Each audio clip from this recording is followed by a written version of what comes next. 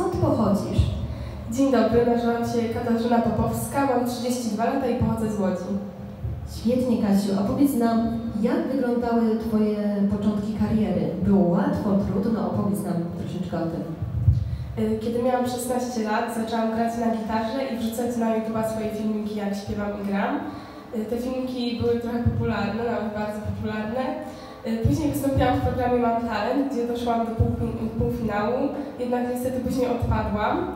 Ale podpisałam kontrakt z wytwórnią muzyczną i wydałam swój debiutancki singiel Przyjdzie taki dzień, który był bardzo popularny, no i tak jakoś się to potoczyło. Świetnie. A powiedz nam, grasz na jakichś instrumentach może? Y, Gram na gitarze. A co nam dzisiaj zaśpiewasz? Y, Zaśpiewałam piosenkę Graj. Pięknie, to bardzo prosimy. Wielkie brawa dla Kasi Powolskiej.